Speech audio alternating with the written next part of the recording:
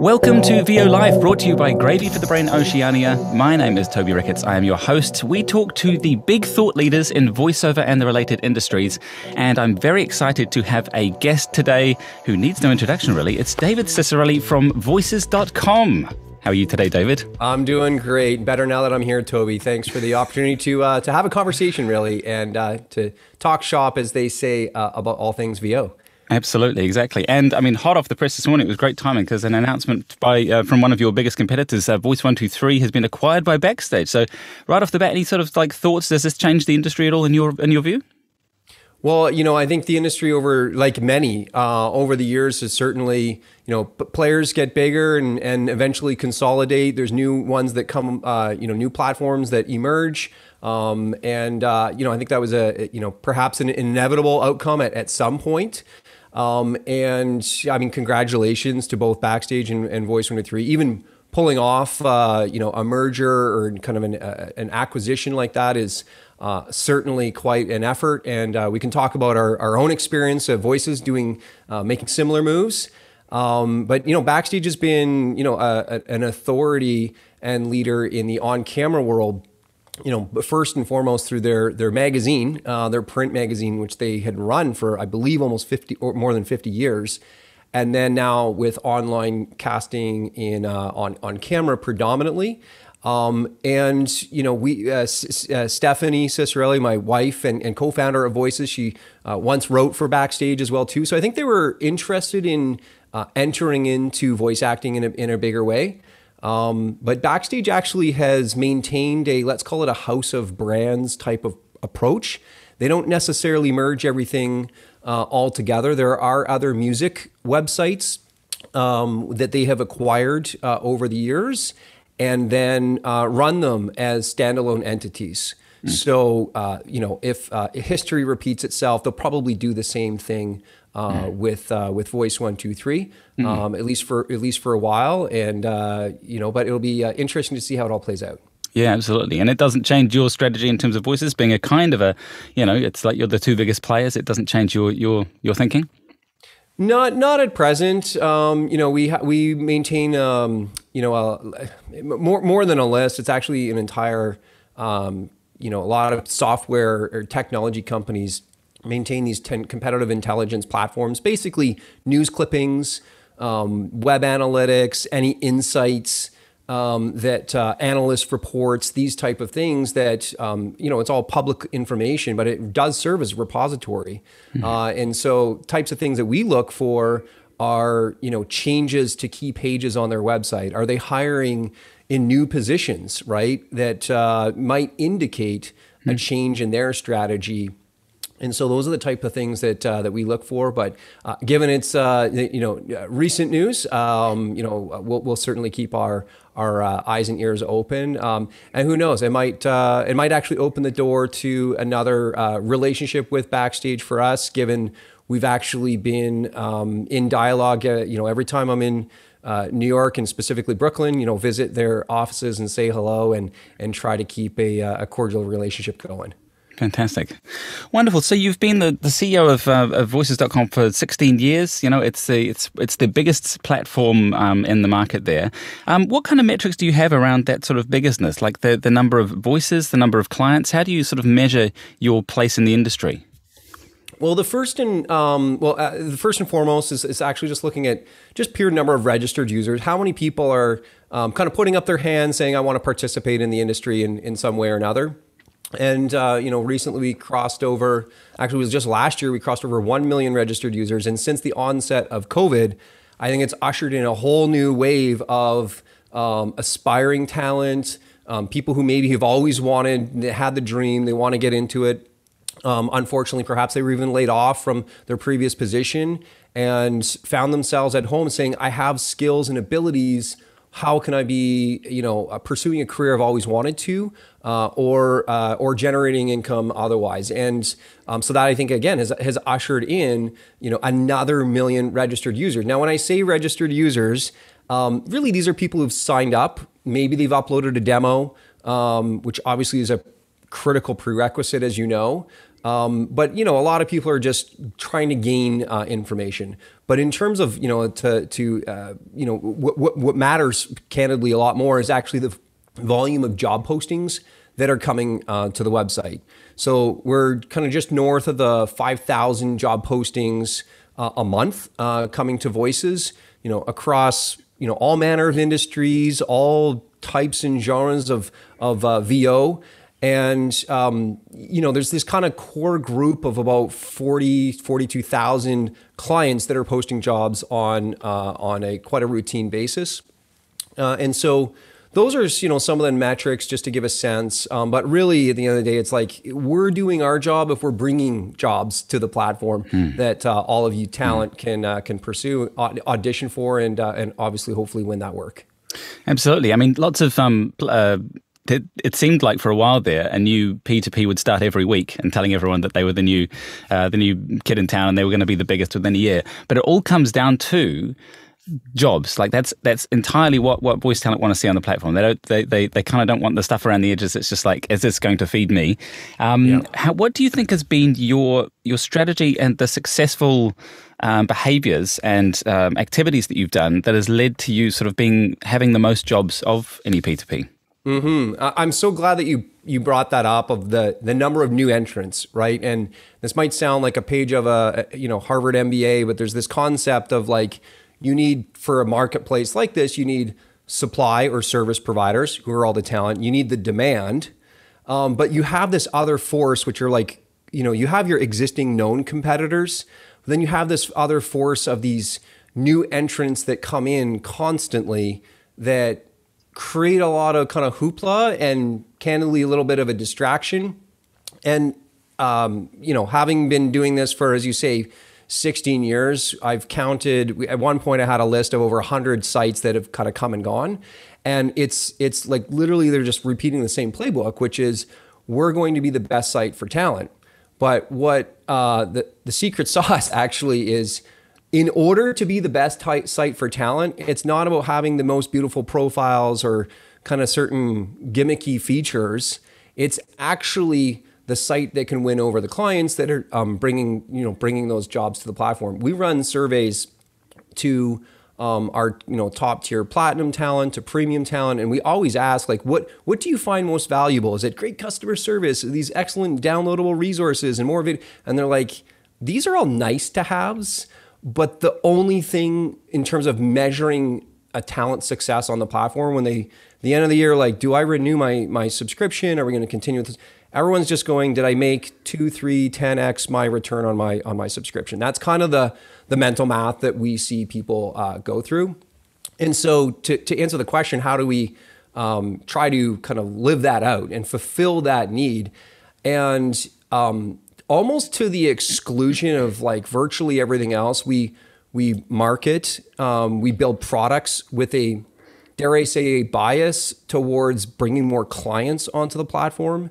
It's not that we're neglecting talent. We just know that you can build things for talent that sound nice, but the way we're being held to account and our measure of success is did I get a return on my investment in terms of volume of uh, volume of work?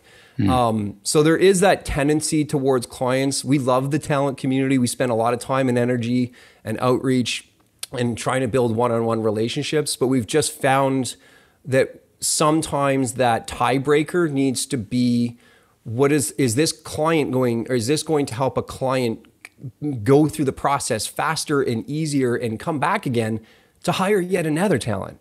Mm. Um, so that's kind of been one thing, and that that permeates Toby product decisions, hiring decisions, um, marketing campaign decisions, um, and and so th- those are. Um, it's just having that. It's it's not going to be a 50-50 split. It might be more like 60, 70, 80% of our time and energy um, might be on the client end of the business so that it can ultimately we can we can satisfy the needs of the talent. Mm-hmm. Do you see clients at all kind of um, like um, defining like changing the way voiceover um, voiceovers are behaving? Um, like th- there was lots of talk about this kind of there was this race to the bottom about sort of three or four minutes. This this this phrase that got thrown around, the race to the bottom, which I think no one can say has actually happened. Like there's definitely been a fragmentation at the very bottom of the market, which was always going to happen because you get, you know, mm-hmm. everyone suddenly needs a video and small businesses can't afford, you know, $5,000 for a video, for example. So there's going to be a lot of small jobs, but I don't think the race, the, the, the fears of the race to the bottom have actually occurred. And voices.com certainly hasn't been like, um, hasn't, uh, you know, driven down prices um, from what I've seen. Um, are there, are there other pressures that come from clients that would negatively affect voiceovers, do you think? Or, or uh, I mean, you're kind of the, the gatekeepers in a way um, who are looking, trying to, you know, you're trying to look after both parties at the same time because mm-hmm. you don't want to alienate talent, you don't want to alienate the clients because that's where the work comes from. Um, do you see any sort of big, big changes in the industry in terms of how clients are requesting voiceover these days?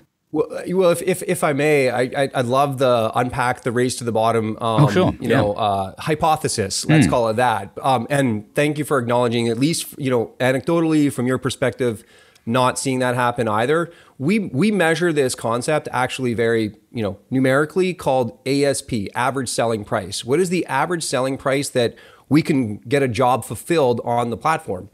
And just because the entry level budget range was 100 to 250 dollars um, US uh, US dollars doesn't mean every job is 100 to 250 dollars. Sure, call it half of them are, but the other half are five, you know, 250 to 500, 500 to 750, and then it goes up from there.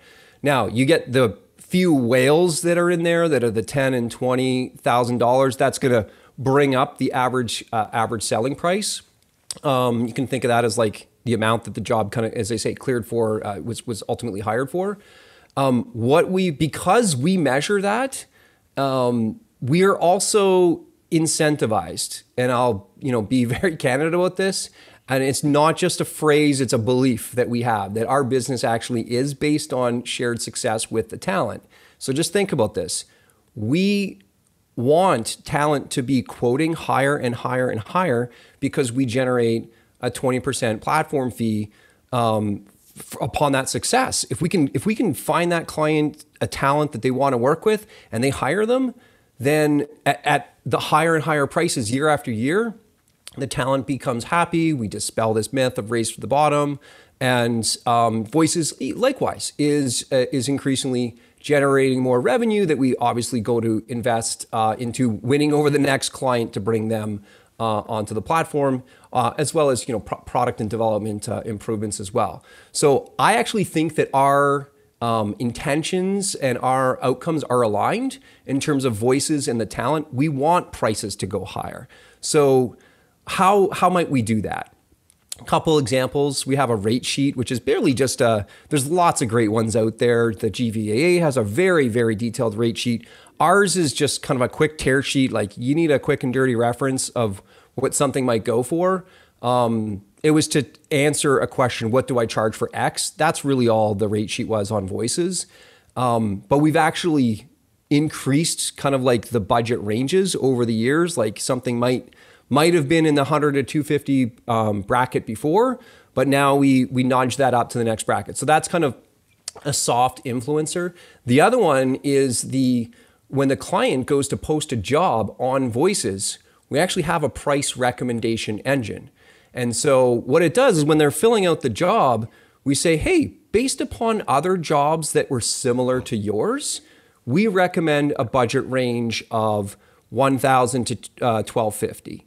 And by providing that, it actually overcomes a lot of anxiety for first time clients. They've never hired a talent before. You're a junior creative producer at, you know, said ad agency you know, you've been asked to hire a talent for the first time, you know, you're doing some research. Your main objective is to hire the talent, but you also want to get a good quality talent. I want to therefore quote appropriately. I just don't know what. So this price recommendation engine is is another way um, to do so. Uh, and so I mean, those are kind of two tactical ways that I think demonstrate, hopefully, to the community that we actually our our incentives and our outcomes are completely aligned.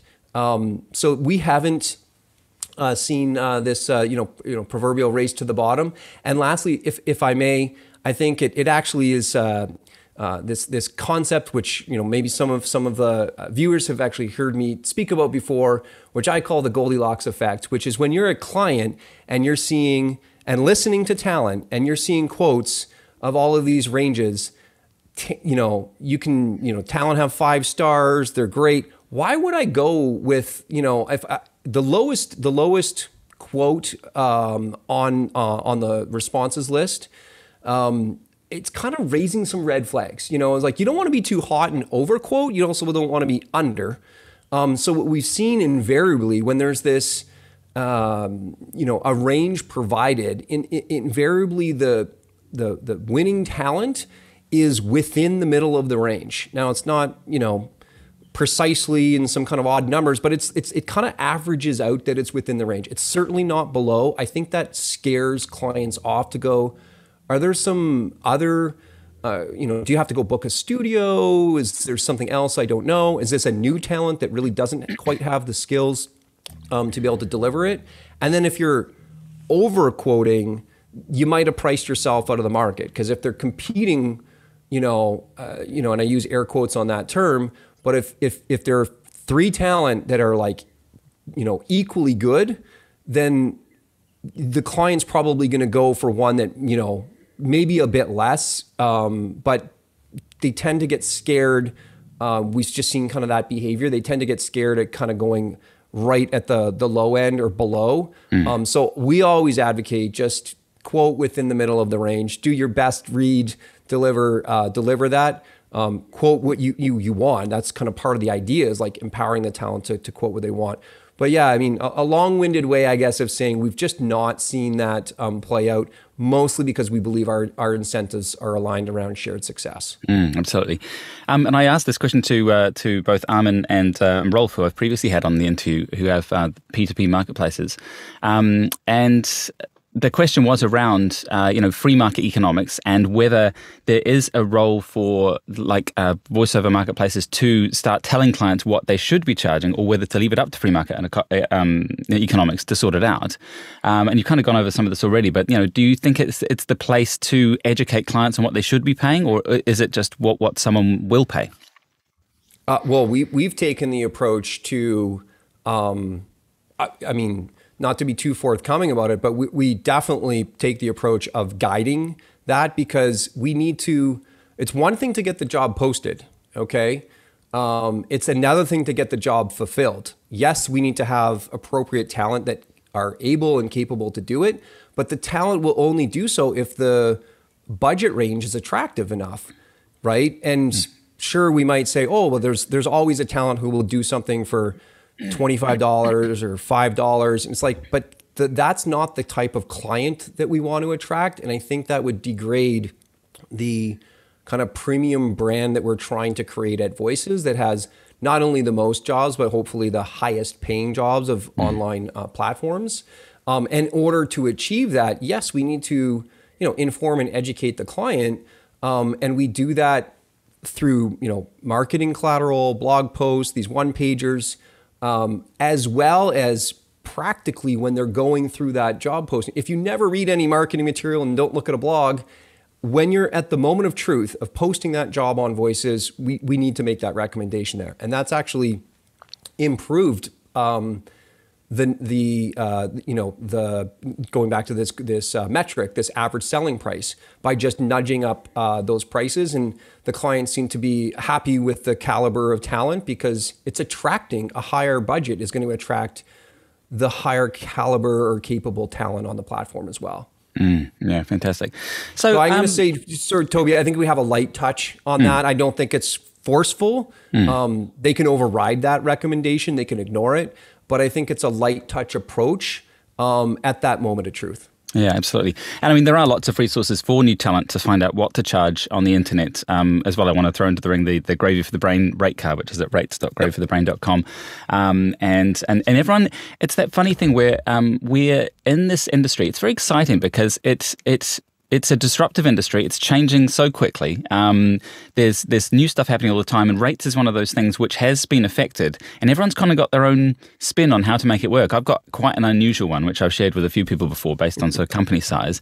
But no one's really nailed the way to accurately price a job in the digital era. I think is the key thing because when it was broadcast, it was kind of easy um, because it would be like you know viewerships and you knew all that stuff. But now you can voice something and it can just completely go viral and have you know, five million views, or it can have five hundred views, and mm-hmm. so it's difficult to price it at the outside and uh, outset and give people certainty. But um, I don't want to get too bogged down in rates, but uh, but but uh, yeah, it's it's definitely an interesting time. Um, how has um, Voices.com? What do you think some of the key moments of the evolution were in your business model? Because you know you've been around for, for more than sixteen years. Mm-hmm. Um, you've really seen the voiceover industry go from a complete bricks and mortar um, institution where people had to live close to a studio. They didn't even have home studios. Now you have to have a home studio. I live in the middle of the New Zealand jungle and managed to carve out this the voiceover career, which would never have been possible even probably five or six years ago. Um, has voices.com been a part of that evolution? And like, what have been the key moments for you um, in in shaking things up and, and changing the industry? I, I, think the one, you know, the, the first instance uh, was actually the acquisition of the domain name um, voices.com. Um, some people might recall we actually started as interactivevoices.com. It was a mouthful um, you know, you would have a you would have a, a profile URL like tobyricketts.interactivevoices.com is really long. Um, people didn't know if it was singular or plural, so I wanted to change the domain name and rebrand. Um, and the short version of the story is rather than a wholesale Voxio or Vox.com, um, we thought rather a name simplification. What if we could just be voices, like voices.com? And so uh, we were successful in obtaining that name um, from another uh, from an, another website owner at the time, and basically you know rebuilt and redirected um, you know the website on this uh, voices.com uh, URL or this address. So I think that was critical. Toby, after that we had reporters from CNN contact us. We had great search results. Um, kind of just became more memorable, short and memorable, and uh, unlikely that someone could misspell it. So I think that was very helpful in uh, establishing the identity um, early on. And then, so that was, uh, you know, something that was memorable uh, to me. And then, honestly, we actually kind of, you know, stuck to our knitting for a good, uh, you know, t- you know, 10, 12 uh, years. Uh, and you know had aspirations for creating a you know really a global uh, global platform for voiceover in uh, in which case we realized you know financially probably just couldn't continue to pull this off on our own. Um, and so we sought out a uh, an investor, which a lot of tech companies are going to say, "Hey, I can I can get this kind of proof of concept phase." And then you achieve what's referred to as product market fit, meaning you've got a product, a platform, or what have you, and there's a market out there, voice talents, clients who are looking to hire them. Do we have something that's working? And is it working at the scale of like 10,000, 20,000. Like there's enough volume there that with additional, you know, sales and marketing dollars, like, you know, can we go and acquire 10 times as many uh, customers onto the platform? So that was really the, uh, the, the journey that we had was to realize, yeah, we probably need a sophisticated partner. Um, you know, and I say we as in Stephanie and I, uh, who were the two owners, and you know, no board of directors or anything along the, at that time. And um, you know, as, as many as many of you know, we ultimately uh, ended up uh, raising uh, what's called a Series A, which is kind of the first first money invested into the company, institutional money invested into the company, with Morgan Stanley, a global investment bank you know, uh, well-regarded, prestigious Wall Street firm, um, and it was out of their San Francisco Silicon Valley office uh, and they look for you know high growth tech companies, uh, and so we fit the bill. Um, and uh, you know, and uh, we're able to uh, to secure that investment, as I say, of, of, of eighteen million dollars. And so, part of that, you know, the outcome of that was, you know, when when you go in through an investment process, you actually have to fundamentally answer three questions. You know, how big is the market? And you know, we had done our own research and built this called total addressable market analysis, and we put it at four billion dollars globally. And then, um, you know, and subsequently, we've kind of since validated that with other third-party research firms. And so, you know, in the multi-billion dollars, so big, big, uh, growing uh, space. Well, why you? Why you voices? Why are you going to be the ones that lead the way? And that could be great domain name, you know, great traction so far. Um, you know, p- positive feedback from customers that they're going to keep coming back um, you know, time and time again. So we had to prove why why we were going to be the ones that would lead. But the critical one was okay, even if those are true, the investors, and in, in this case at Morgan Stanley, was critical to knowing, well, why now? Why wouldn't we wait and let you grow a little bit more? And why is now the critical time for us to uh, invest in you? And um, the answer was actually we had uh, started conversations with uh, with a company called VoiceBank, which uh, for those who are maybe unaware, VoiceBank was a similar online marketplace, um, more of a directory, but similar type of approach um, that connected uh, ad agency producers, mostly at ad agencies, with uh, the kind of traditional talent agency. Now, you couldn't go on to VoiceBank as an individual talent. Your agent had to uh, register you. And so uh, Jeff Hickson at the time, who was, who was the founder, he started that in 1998, believe it or not, mm. and um, arguably kind of the pioneer of uh, online uh, marketplaces. I think he was uh, he was ready to to find a partner and you know pursue other other career opportunities and and uh, so we you know we we made an offer and and uh, he liked the looks of it and so we uh, ended up actually acquiring uh, acquiring VoiceBank so that was a big uh, the capital raise with Morgan Stanley and then 30 days later um, kind of tying up uh, this deal with with acquiring VoiceBank um, and and so those are kind of some of the the big milestones over the last couple years. But yeah, huge trends that have happened around AI voices and just the amount of freelance work. Um, you know, the pandemic. I mean, there's lots of paths we could we could go on, but those are some of the the highlights and memories from my mm-hmm. perspective. Absolutely fantastic. Um, I mean, the two key parts of you know spending is so you get all this money um, into the business. Um, one of the you know, and and your decisions with what to do with that money will be critical in terms of you know the the success of it. Um, you've got to look after your talent and look after development of the site, which I was going to say at the beginning is is like a thing of beauty. Like the interface that you have built with Voices, I don't think anyone in the industry could say that it's not you know it's it's the top um, pay to play in terms of the interface, the way that people can take jobs right through from uh, the posting right through to payment and everything. Like it's a complete. Uh, I often recommend it to new voice talent because when you're getting into the industry, it offers that complete you know, step by step. This is how a job works, and this is how you get paid, and, and you don't have to start doing overseas bank accounts and everything like that. So that is the thing of beauty. Mm. And you've obviously spent a lot of money um, in building that, and you've um, you've done a lot of development work, but you've also had to develop that with um, like we were talking about before, client acquisition, um, having people calling clients, trying to get people on board to use the, this beautiful platform you've created. Um, what's been your your priority? Has it has it been in the in the client acquisition, or has it been on the development, or is this this is it, is it a balance where both have to rise at the same time? It's it's uh, it's you know what I jokingly call it's the chicken and egg problem, right? It's like you, you need the you need a platform that is usable, and then you need people to use it and this tension um, can sometimes occur. Now, what I've learned over time is, you know, through through the guidance of a board of directors, you develop an annual budget. This is all like big business stuff, probably tremendously boring, um, but you develop a budget at the beginning of the year and say, here's where I'm going to make the investments, and you know, you try to pick a handful because you don't want to do the peanut butter approach, you just spread it so thin that there's nothing that really has an impact. You try to do kind of one, two, or three things in a in a meaningful way uh, over the next year. But you know, the initial uh, infusion of capital was, you know, you're uh, thank you, thank you for observing that as well too. Was we, you know, we we weren't really a product company in the same way. We had developers.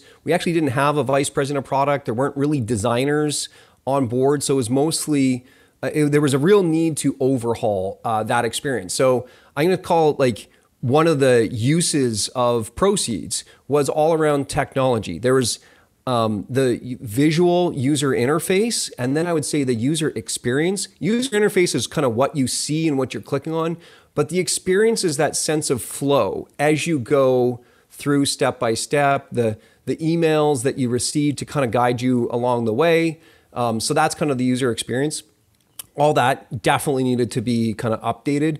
And it was there, but there were these like moments of friction, kind of like the, the pebble in your shoe that you're just like, oh, if we could just get rid of this, you know, it would people could go through the process so much smoother. So that that is that's certainly taken a couple years, and we're continue to be on uh, on that path as well too. there was a lot of behind the scenes investment, um, you know, namely around kind of job match, like how do we make better matches uh, on the platform, redoing a search engine, um, just things that no one's necessarily going to see, but again, makes the whole thing more efficient. Um, so those are two like you know areas of technology um, that were that were key investments. And then you're right, it's like the the the uh, outreach um, to generate demand with the clients that was really kind of a sales and marketing investment. And so, you know, we, we actually do kind of pursue both in a continuous uh, in continuous way, um, and and I think that's actually been you know really key. Uh, is that it's not kind of all in on one side or the other or all talent because you're right, Toby, that every change or improvement that happens on the client side, we fully recognize that there's a um, complementary or sometimes, hopefully not, but an adverse effect for the talent, and vice versa. We do something just because somebody wants a request to happen from the talents, you know, um, the talent is requesting a, a change to happen. We also have to take into account the ramification that might happen with the client. And one, if I may, that's just kind of recent. There's probably nothing more. It's aside from more jobs that talent want are like I well if I didn't win that one tell me why or at least let me listen to the winning audition. Who won the job and how much do they get paid? It's like well I don't know if the talent's okay with that. And even if they were I don't know if the client would be okay with knowing because a lot of the clients are like it's a non-disclosure you know uh, confidential campaign. They don't want the audio leak. They don't want to know who won it. That you don't want anything like that. So it's that kind of tension that we feel kind of pulled between mm-hmm. that these are really good ideas but every every um, you know initiative kind of has like it, it affects both sides of the marketplace. So we just try to be thoughtful about uh, about making those changes. But yeah those are the kind of areas that we're making you know technology mm. investments and then marketing investments. That's so true. I'm glad you brought up about the uh, the talent feedback thing because that, that's that is number one of the number one thing i hear from especially new talent who haven't necessarily won their first job yet and they're throwing auditions at the wall and they just feel like they maybe get a like, and so many new talent are basing everything they do on how many likes they get. And I mean, as like I, I don't. I, I, tend to throw auditions at the wall and, and, never look back. Like I don't even know if I get likes or anything. I just kind of move on, and if I get a job, it's a nice surprise. But mm-hmm. when you are starting out and looking for any kind of data point to improve your performance, the, the P2Ps aren't really much help because the, it is literally the, there's just no data coming back at you, which is why things like Gravy for the Brain and, and coaches um, are so important to give that feedback and, and make sure people are improving.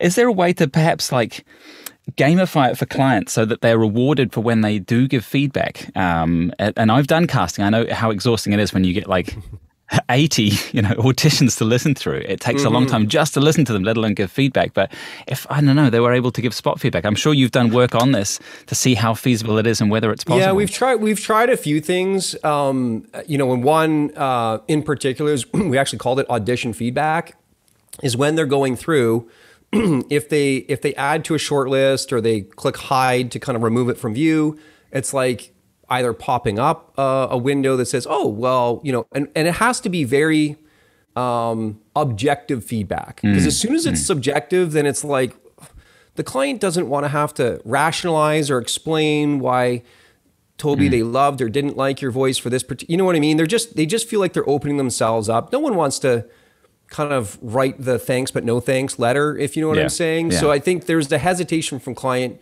uh, from the client to do so.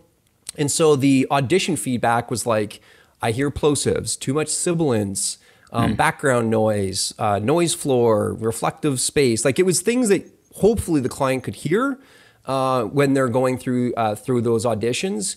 Um, but the uptick of that was like a, it was like 0.1 percent of people, even for like of jobs, even like got a single audition feedback. We're like, this is this is kind of becoming one of those pebbles in the shoe to to for the client who's just like, can I please just hire the talent and kind of get on with it? Mm-hmm. So I think we've concluded that you're right. Gravy for the Brain, other coaching facilities, and individual coaches are really the best channel uh, in our experience to get that personalized one-on-one feedback. Um, and a, a one way to do that would be downloading an audition, you know, you know if the client's got a job posting, if it's not confidential, and you know show show your coach, here's the job, here's my audition. How might I Im- improve? Mm. And for a while, we actually had an on-site uh, audio engineer who would, in effect, do this, you know, pro bono uh, at Voices.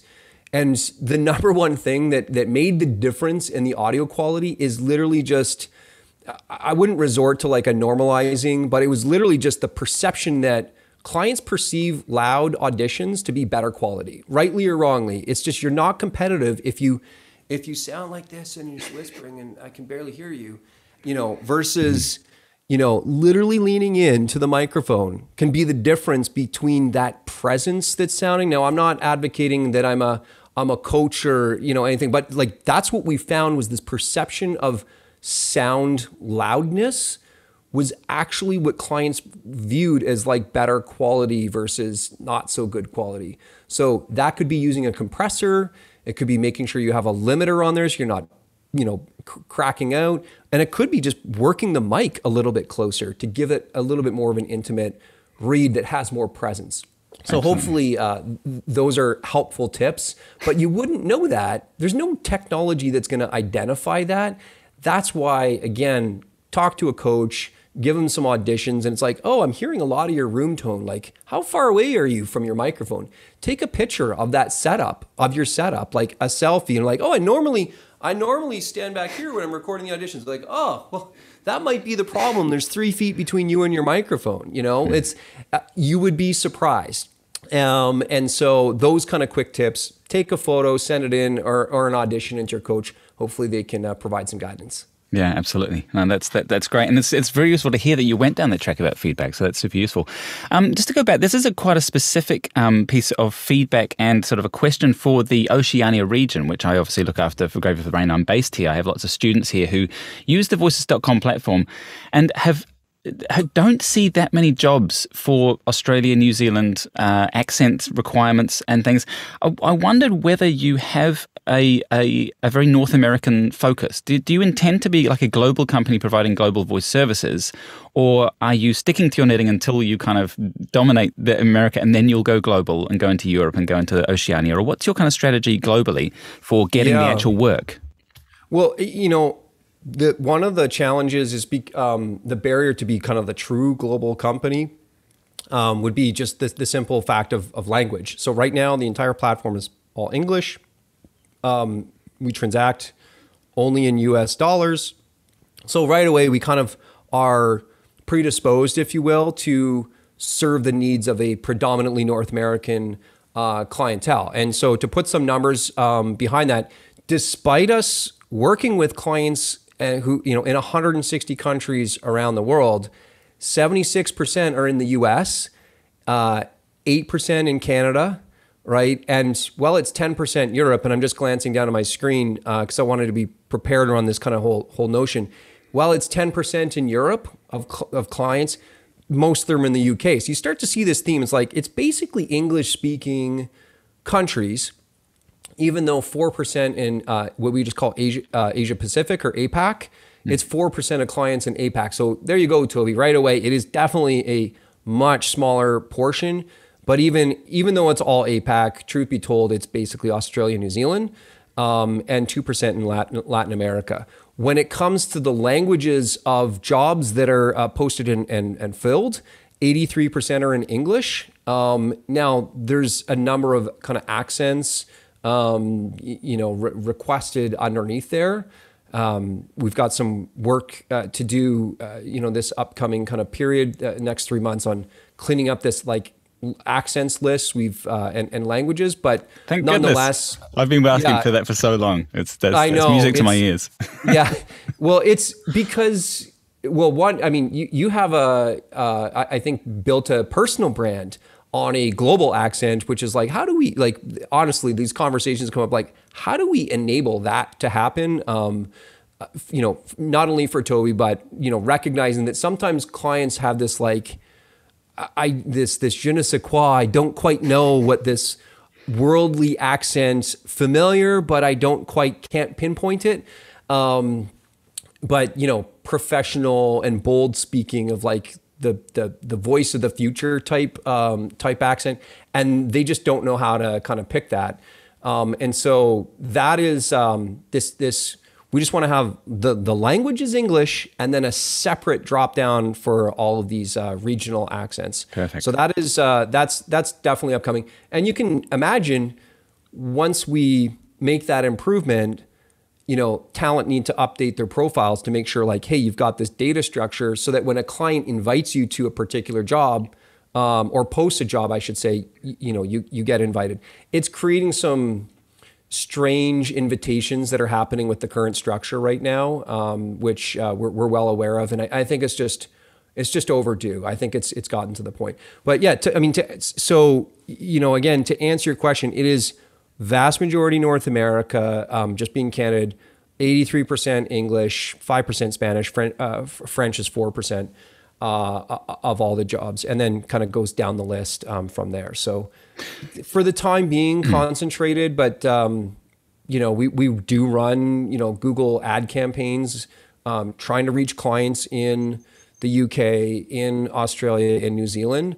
Um, I I just think kind of like just from their you know size, mm. uh, the U.S. Mm. continues to be the, the the, the dominant market that uh, you know that the platform resonates with. Yeah, absolutely. And I mean, I do think that the marketplace in Oceania here is is a number of years behind the US. You know, the US has really, um, you know, took the online voiceover thing first and has really run with it. And um, Australia, especially, still seems to be caught in the the the bricks and mortar agency model. Um, I talked to Luke Downs, who's one of the the um, the leader of RMK, which is one of the biggest agencies there, and it still seems very like everyone's very happy with that arrangement. And so for big sort of you know uh, national campaigns, it's not going to change in the short term. But I feel like there's there is there's a lot of little tiny you know seedling companies coming up that are that are just small at the moment and, and can't afford to go to an agent, and so like the the, the pay to plays fill that that perfectly in terms of like low to medium budget jobs. Um, they you know they need a broad spectrum of talent, especially, but they just they don't necessarily know about the online voiceover thing. So I I kind of wondered whether there was. Um, going to be a marketing push into these areas, or maybe some phone calls um, going out or something, um, so that you know more of more of that work um, could come for these voice artists who are um, investing in voices.com, but not really seeing that many jobs posted, unfortunately. Yeah, we. I mean, we we do have a small global uh, sales team um, that, but again, we're we're more responding to inbound inquiries as opposed to part part of the th- you know challenge is that we're just not aligned on um, you know, uh, time zone, you know, like when we pick up the phone, we don't want to be calling people in their sleep, um, and, and, and vice versa. Um, so it's, um, but it's interesting you bring that up that Australia, and we actually found that to be the case in, in Japan in particular, because we're like, wow, it's like world's number one anime market. This is going to be great. And they're like, nope, everything's in person. Nobody has home studios in Japan. Um, and, it, and we were just like, wow, if if the kind of structure on the ground isn't conducive to doing business th- through these online marketplaces, like I, I don't know how to change that. Where mm.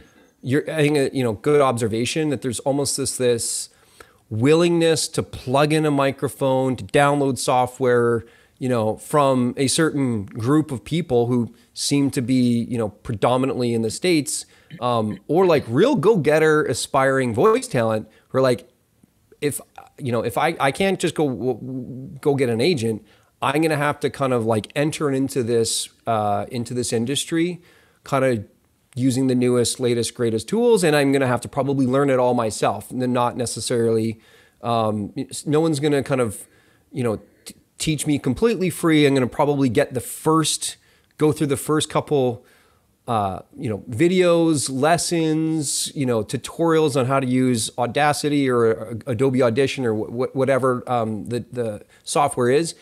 You're gonna have to put that effort in yourself, and then you know maybe win a client or two. I think then you know agents are going to be certainly more likely to be uh, taking uh, taking your call. Mm, yeah, exactly. Cool. Um, I want to switch tech a little bit because um, I'm aware that we're having such a great time talking that we're not getting to some of the questions I wanted to ask, and some of the um, sure. the, the, talent on uh, Gravy for the Brain had uh, questions as well. Um, one was around the um, the, the Voices.com terms and conditions. Uh, a number of years mm. ago, that there was a big update to terms and conditions that said something along the lines of, you know, like we own any audio you upload and we can use it for whatever purpose. Um, I mean, I, I I get that like these days, this there's in in aside from the pay to plays and agents and everything, there's been this this this pressure from clients that they want to own the audio. They're paying for it. They want to own it and use it for whatever they want. And perhaps it's a it's a um, a response to that. But is that still the case that the terms and conditions for, for voice artists say that you know anything you upload to the platform we can use for whatever we want? Because people were worried that it was a TTS learning algorithm thing, and that, that mm-hmm. you know auditions were being used to train um, AI voices. Yeah. It, can you put any of that to, to, to bed? Is that yeah? Case? No, I, I, trust me. I'd love nothing more than that. Um, for, first off, I mean, our, our business is to run a marketplace. We're not a tech company. We're not. We're not. You know, we're not going to compete with Google and Amazon to cr- create synthetic voices or AI voices. I mean, listen, they're they're they have thousands of engineers working on this kind of project, and they're decades ahead. So I, you know, that's it's never been our heart's desire to even enter uh, that space. The reason why, uh, and so we haven't, uh, for exceeding clarity, we've not sold data sets, we've not, you know, of, of auditions, um, you know, no desire, nothing on a strategic roadmap to even enter that space. I think, you know, to, to reuse the phrase of sticking to our knitting, what are we really good at? You know, and we ask ourselves this, like, what, what is it that we do? It's like we run a marketplace that connects clients and talent to fulfill these jobs. And that's you know, as as simple as it is, we're kind of a straightforward, very candid, you know, clear, simple bunch. Um, uh, you know, smart people, but it's like some of this stuff is just. I, I think it's. Uh, you know, I, I think it's you know speculative at best and like kind of fear mongering at worst, which is not constructive for us. And I've just learned a, a while back to um, you know, not engage and trying to defend all of this. It's like, let's just keep doing our thing. Uh, and it was actually uh, one of our board members who gave me a great line, Toby, which is there's kind of, you know, two different mindsets you can have, especially as a leader of a tech company. You can be, you know, the competitive mindset and be fearful and worried about what so and so is doing and what are they building and what someone said about you but that can really bring you down, right? You're kind of always looking over your shoulder. Or you can have the creative mindset. And the creative mindset is like, here's our vision, here's where we want to go, here's we're going to build on our strengths. And we've just opted and I think collectively agreed, let's build on our strengths of what we know instead of anywhere kind of dabbling in, you know, unknown areas that are highly controversial that actually don't support our core business. Mm. And so here's kind of the other funny thing about that um, speculation that, that we, we, were even ever going to enter into the space. We've I, I'm, I'm very proud of what Voices and the team here has built. We built an incredible business. Why would we cannibalize all of that by building a synthetic or AI voice? You know, it's it's literally trading dollars for pennies. It doesn't make any sense because you build that machine once, then it's just going to crank out automated voices for for pennies where we used to be able to live out uh, a vision of providing uh, income for talent and um, as well as for all of the employees here at voices. So it actually undermined our core business operation so that was kind of um, point, uh, point, point number one. Um, but, but if, if, if i may i think you know like well why did we have anything in the terms of service at all. The only, you know, the only reason we needed to is because, like, listen, no one's waiving their rights and giving us indefinite use of, of their audio. What was happening is the client would, you know, ghost, disappear, and we would say, "Oh, you owe us um, for you know, you know, th- th- it would be on a credit card. The credit card would fail. They they would still use the file, and we would have to chase down that client and then we would be getting into these um, disputes that the client would say, Well, you don't have the right. Why are you reaching out on behalf of the talent? And we'd say, So that we concluded with, you know, advice of our, uh, you know, law firm. It's like, you need to temporarily own this as the file passes through your system, right? You're, you're having this file upload into your system. Who owns that? And we say, well, we will own it until it's paid for. And once the client's paid for, then it's a transfer of ownership. So you can for those who are interested, they can look up a transfer of ownership. Hmm. Um, so it's this kind of like almost like clearinghouse temporary state that it sits in, um, so that in the unlikely and hopefully doesn't happen situation that the client does, um, you know, payment doesn't get fulfilled all the way. Sometimes we issue terms where the client can pay us 30, 60, 90 days later. We've paid out the talent then on the on the Friday, but sometimes there's this kind of holding period. If for some reason we need to have the legal recourse to actually go down and chase that client to recoup the money that we've already paid the talent for. So that was the entire spirit of what we were trying to achieve. Um, I think it was around the same time of a lot of other AI voice companies and this whole voice first phenomenon and smart speakers and Google Home launching and like all of this stuff that um, I think unfortunately some might have connected dots that just uh, that just weren't there to connect. Mm, mm, absolutely. Oh, well, that, thank you for, for putting that to bed. That's because that's that's that's that was an answer I wasn't exactly expecting. But it's like there are these funny things with uh, with fine print and, and legal stuff, which I'm I'm completely allergic to. I have to say, like I, know, I basically don't read. Who does read terms and conditions these days? They're about sixty-seven pages long. But uh, but it was something that, that was mentioned to me um, in, in preparation for this interview that that was you know that was something that, that sort of turned people off a while. So it's, it's a, very interesting to hear that perspective. Yeah, there was a um, there was a there was a clubhouse as well um, that I was that I popped in on. It was like the same question um, and same concern mm. and a like rightful, legitimate concern. If you haven't, if you, if if maybe somebody doesn't understand, again, I'll I'll use the term like the spirit and intention behind what we're trying to do. So any any change that we're going to make to a terms of service. It's it's really to provide better protection for the job and all three parties, talent, client, and voices. Um, some examples are we actually when we acquired VoiceBank, we actually had to add a whole section in for union jobs for at which the time we were facilitating union jobs through the through the platform. And then later we had to do a terms of service update when we removed that because there actually wasn't as many union jobs as, as we had, had thought. Um, we recently added around usage, right? Some better and clearer definitions around usage. You know, one, uh, 13 weeks, one year in perpetuity. Um, you know, different. So, so we needed to define uh, those terms and then uh, last one, if I may, just as an example, um, is around. It's called COPA, which is the Child Online Protection Act, and mm. we basically recognized that we didn't have a um, adequate way to, uh, without just kind of asking, like verify people's ages on the platform.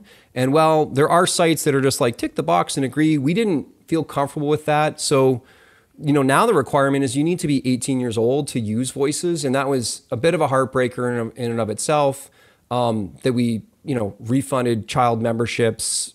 Unfortunately, told some kids' parents that we can no longer support their, their kids online. We just wanted to provide kind of um, a more robust parental controls. We just didn't have the infrastructure. I think these are all kind of growing up and coming of age of our own.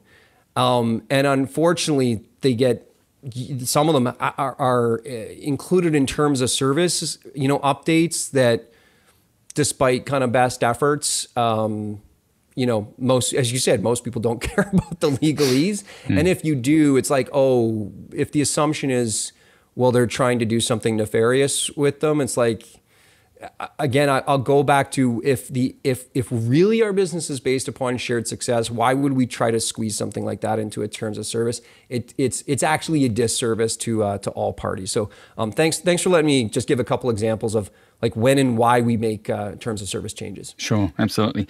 So um, we are getting towards the end of the window. It's been a fantastic chat, and I hope you got a few more minutes to just answer a couple yeah, more questions I have. Um, I feel like we need to cover as well your most recent launch, uh, like because looking, you know, this is the present, looking towards the future. You've just launched, um, you know, Creative Services, which mm-hmm. is a mm-hmm. big change um, for Voices.com, taking the model you've done with Voices and then applying it to translation and translating it to audio production as well. Um, so tell us about how that came about and sort of like what and, and what what the now that it's been a month or two since it launched, like what kind of feedback and what kind of uptake have you seen on the platform? Yeah, I mean, so you know how it came about is I think we're we're we're looking at this this platform that we've created and and uh, also uh, the incredible talent that are uh, you know call voices home, if you will, and looking at these profiles and how people describe the, their artistic abilities, what you can do. And so we did this kind of big data look to develop what we call a skills inventory. We took all the profile information of like, what are the keywords that are coming up? And is it just VO? Or are people saying, oh, actually, I can edit audio, I can mix in music. Um, you know, I speak three languages and I can also translate them. And that was, you know, another one of these aha moments to realize the hardest part is probably, you know, or one of the hardest parts is like building up a community of people who are talented and multifaceted. And here, all the information is kind of sitting there at the ready. The question then is, well, you know, would any client want to actually hire, you know, a talent for another creative service? And when we look back over the years of, again, the jobs uh, that were being posted, some jobs would say, I'm actually looking to have my script translated and then recorded in Spanish and we realize, okay, they're they're actually asking for this, but it's two services kind of bundled in one. Might they actually post two different jobs? Maybe you want a translator who has certain industry expertise, like pharmaceuticals or financial services or healthcare. And so that kind of you know got us thinking if we have the talent and it looks like there's clients um, that are that are uh, wanting additional services then um, perhaps we can you know leverage and utilize this infrastructure we already had. I mean voice is going to be you know the heart of the production. It really is you know I, I use this phrase all the time like breathing these words to life. But inevitably there's pre-production services writing the script translating it and then the vo gets done. And then perhaps or you know perhaps even inevitably there's some post-production services as well. It could be as simple as you know converting file formats. It could be editing out breaths. It could be chopping this one long recording into chapters for e-learning modules, um, that type of thing. So there might be some audio editing, mixing in music, and so forth. And that's where like I felt it was consistent uh, with kind of creating this definitive destination that we're we're not uh, we're not veering off into you know, hiring any freelancer, web developers and executive assistants, it's creative talent. Mm. And mm. let's call it creative talent that are in these, you know, s- circles, if you will, of influence around the human voice. And so I think we're, you know, we've, I, would start to struggle to get kind of too far uh, out there with, you know, potentially others, but writing seems like a natural one. Like that's actually a big, challenge for clients are like, I've got, mm. I want to do a podcast ad. That's great that you have the voice, but like, I need someone that I can just talk about my product, mm. interview, and have them write a script. Yeah. And so we don't really offer that kind of writing right now. So that, that might be something that we're, you know, we're, we're, we're contemplating. Um, but I think we've kind of got the, the essence of it now. Um, the hope is that all of this drives more VO activity because it's kind of like pre and post production, give client that great uh, end-to-end service, uh, and hopefully they uh, they they come back and and uh, you know are looking to hire another creative talent in the future. So you still see, you know, voice is definitely at the core, and these are going to like complementarily sort of add work for voiceovers as well. And I mean, like myself, I also offer audio production because I'm from a radio background, so it, it's mm-hmm. another sort of an income stream for people. Yeah, exactly. I mean, you're you're not alone. That's what we find, and we and that's exactly how we also describe them. Are complementary and adjacent categories. It's like, oh, what's kind of like one next to what is currently there? Um, you know, and so that that's really where where we see that ultimately will build into kind of more and more robust voice uh, voice jobs themselves. Um, you know, perhaps one day will like a client will say, I'm going to create a, a project folder and then have multiple jobs in here where I can kind of better organize uh, the type of creative work um, that I want to get done.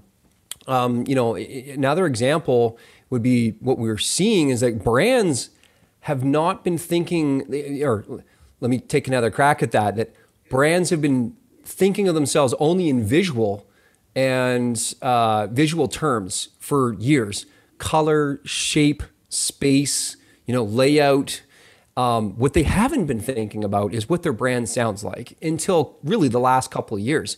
Now they're thinking, do we need to have a sonic logo or an audio logo to go to coincide or to complement the visual identity? What's our sonic identity? And so that might mean like music kind of composition. We're seeing some of these jobs, um, you know, start up as well too. But for all of this, I, you know, I, I'm excited with the whole world of sound. I think it's early days still, where you know we're not necessarily going to be. If, if there's any time we're fatigued from being in front of you know screens, it's probably over the last 18 months. I, you know, there's lots of times where I'm just like, I just want to listen, right? I want to learn. I want to be entertained. entertained could be a podcast, could be an audiobook. I want to listen to some training or university courses. Um, eh, so I think there's a kind of a you know a whole other world of audio only or audio exclusive um, opportunities both for for brands and organizations that are trying to uh, get those important messages out there. So hopefully mm. we can be a small part of that. Yeah, well, audio is really coming into its own, isn't it? Like you say, with the rise of podcasts, with um, the the fact that audio has found its advantage in that you can do something while you're listening to audio, especially with podcasts, yes. like in audiobooks. I find like I cannot sit down and read a book because my mind wanders and I want to do other things. But if I can drive or do the gardening or do some building and listening to an audiobook or podcast, then like you get two things done with one stone. And I really enjoy, you know, that, that kind of experience. Um, so, and I'm, I'm, glad that, you know, the, the Voices is, is seeing that and, and, and uh, you know, using the platform to kind of leverage that uh, to, to, for audio professionals like myself to, to do more work. It's fantastic. Um, I want to get to some of our member questions. A few of these are sort of, you know, um, I think are answered more on your sort of help, like how to get 100% voice match and stuff, which we haven't quite got time to go into, but is, is, is I think, dealt with with your talent services team.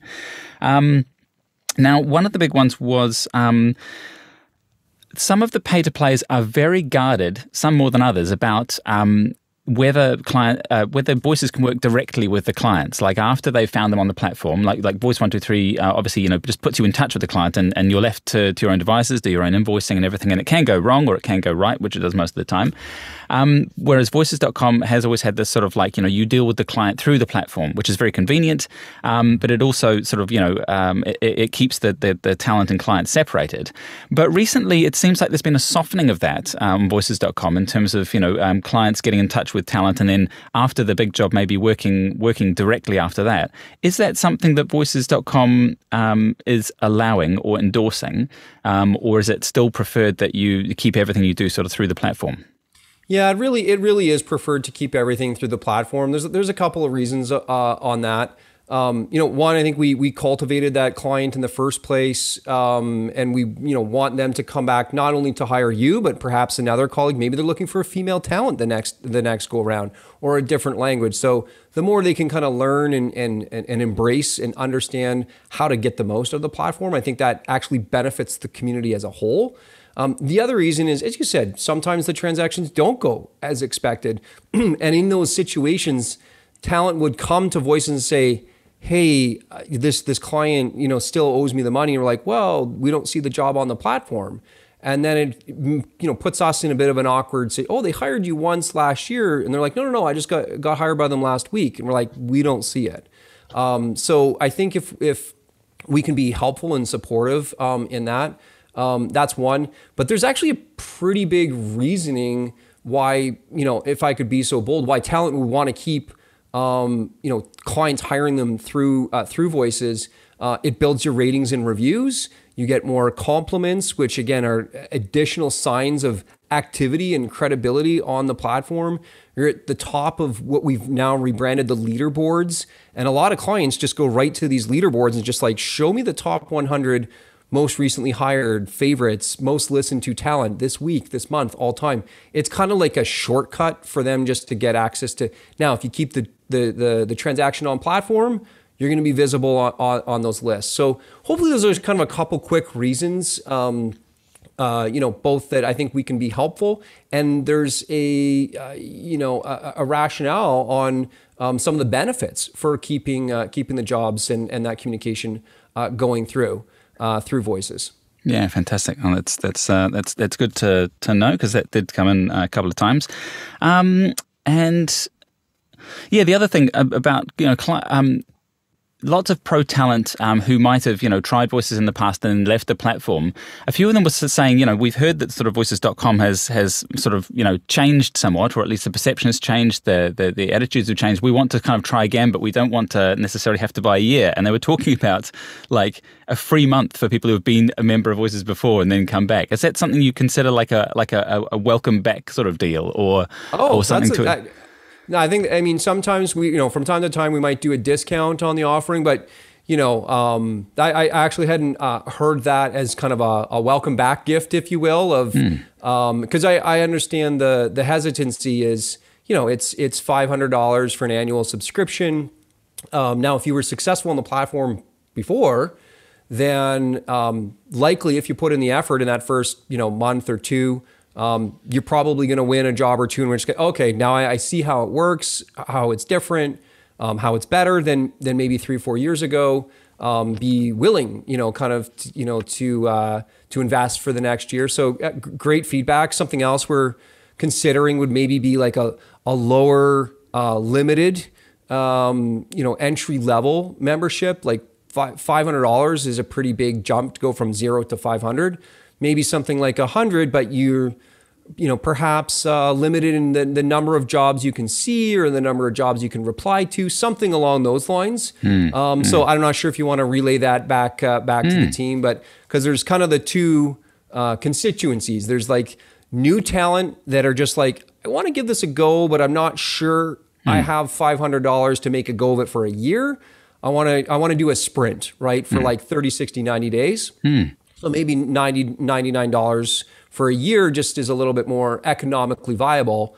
Um, but yeah, and then then there's the people that we would love to win back because I think there's they were talented before. If you're successful, you know how it works, um, and hopefully we've uh, you know overcome a lot of the uh, the, the, the, challenges, growing pains I often mm. call them mm. uh, of uh, of years uh, gone by. And I would certainly love to to earn the trust uh, and, uh, and, and and re-earn that relationship with uh, with all those talent who are looking to uh, to rejoin. So yeah, don't don't be shy. Send me an email, and uh, we, I'm sure we can uh, you know I can I can answer any of those you know difficult questions that you want to throw my way.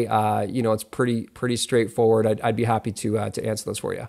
Fantastic. Well, that's that's really good to hear. And uh, and you know, um, you know, transparency is one of those things that that has really, uh, I think, you've worked hard on in the last um, four years, and has really come to fruition um, in terms of being transparent with on the platform, um, especially the in the area of kind of, um, you know, managed jobs, um, or the yep. you know, I, I, always tell people there's, there's two kinds of jobs on the platform. There's the self-service and the and the account managed jobs. one being a bit more like a like traditional voice agent, or you know, helping the clients along the journey. One's completely them on their own. Um, yep. That that when did you institute that service out of interest? And and like, do you what's the kind of split of jobs between uh, just off the top of your head, if you happen to know those figures? Oh no, between- yeah, we we we actually kind of obsess over this one as well too. Um, so to answer that, the, the split is is about 90-10. So it's 90% of the jobs are now self-service. Um, this is uh, I'm, I'm, sharing a little bit of the playbook here, but it's what we call our platform first strategy, which basically is we should have uh, you know a, a, a, a, default or a bias to push as much of client activity to hire talent directly through the platform. That should be our default posture. It's only in those edge cases where the client is like, I don't have time, I don't want to do this, or I've been working with a particular account manager for years, I've built the trust with them. Um, but usually it's in what we call these kind of more complex projects. They're not, you know, for the most part, you know, they're not 30 second commercials. Sometimes they're like 100 hours of corporate training material in like, you know, or 10 hours in 10 different languages kind of thing. Multi voice, multi language. Um, you know, that, that's where we're trying to get to. So that mix has dramatically changed. At one point, it was probably like 50 50, which um, I think was kind of the origin where maybe talent were starting to get uncomfortable that uh, with kind of the direction. And uh, we've definitely corrected that. You know i think we can get it to probably 95% uh, of jobs um, are self-service where we don't we don't need to be involved. The intention is the old kind of you know teach a man to fish if you will teach that client Mr. or Mrs. Client how to use the platform. It's very intuitive and very straightforward at this point. And if we can, um, to use a, a software term, like onboard that client appropriately in using it, uh, using voices, and get them through that first job, they'll realize, hey, I can do this on my own. And so that's really been um, the approach that we've been taking over the last couple of years. Um, but it, it, did come about because you know the, this managed service, we, I mean, we call it professional services. Uh, you know, I- internally, it came about because there were a couple of Fortune 500 companies that said we don't have the ability. Like we did some searches, we don't have the ability to um, use a credit card. So there was this like payment friction. We want to hire somebody, but can you get on our vendors list? And then can can you send us an invoice for the person? So there's this payment issue. Another client, it was a legal issue. They're like, we your terms of service aren't sufficient. You got to sign our legal documents, and um, kind of like you need to be quote unquote on the hook for this particular transaction if uh, and this particular project. So those are the reasons we started, and they were complex projects at the outset. And I think what we've found is, for the most part, that's why we've bolstered up the agreements uh, functionality on voices. It's uh, it's also why we've provided other payment mechanisms. Clients can pay by all manner of credit cards or actually request an invoice. We have certain clients that are on those kind of special payment terms, um, and so we've addressed those two. You know previous objections like why why and needs that the clients had why they had to go with professional services. So we're really just left with these like big complex projects. And i think they warrant having the extra attention and hands on um, i mean some of the projects have been like hiring hundreds of talent on like massive projects things that the platform on a self-serve basis is just it's not it's not the main reason that it's it's mostly small projects in and out pretty quickly. Um, it's not the hundred hours of content or um, hundreds of thousands of words that need to be uh, recorded.